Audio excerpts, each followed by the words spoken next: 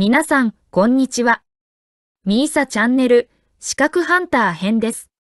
最新の英語ニュースを読み上げますので、英語の試験勉強やスキルアップにご活用ください。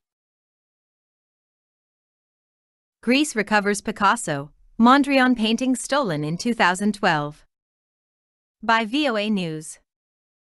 June 29, 2021, 11:47 a.m. The paintings Woman's Head by Pablo Picasso and Mill by Piet Mondrian, both stolen from Greece's National Gallery in 2012, are displayed during a presentation to reporters at the Ministry of Citizen Protection in Athens, Greece, June 29, 2021. Officials in Greece say they have recovered two priceless paintings, one by Pablo Picasso and another by Dutch artist Piet Mondrian, stolen from the National Gallery in Athens in 2012. During a news briefing in Athens Tuesday, a spokesman said police acted on a tip and arrested a 49 year old handyman who confessed to the crime. Police had originally believed the burglary had been the work of two people.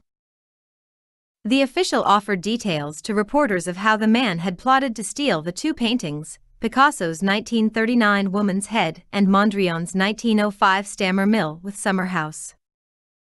He said the thief broke into the museum in the early morning hours and, to mislead the guard on duty, had activated the alarm in one part of the gallery while he broke into another.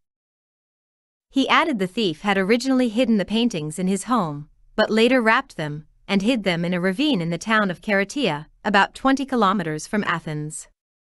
They were recovered there Monday in good condition.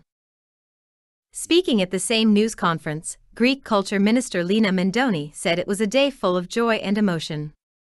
She explained the Picasso painting is of special value to the Greek people because the painter personally dedicated it to them for their struggle against fascist and Nazi occupying forces during World War II.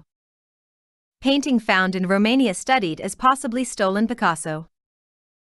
Romanian prosecutors are investigating whether a painting by Pablo Picasso that was snatched from a museum in the Netherlands six years ago has turned up in Romania. Four Romanians were convicted of stealing Picasso's Tête d'Arlequin and six other valuable paintings from the Kunsthal Gallery in Rotterdam.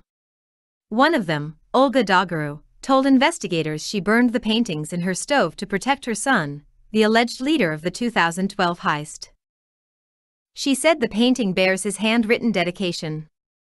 That is why it was impossible for this painting not only to be sold, but even to be exhibited anywhere, as it would be immediately identifiable as being stolen from the National Gallery. The Mondrian painting was a gift to the National Gallery by a Greek owner. Both paintings will be displayed at the gallery later this year, when it reopens following extensive renovations.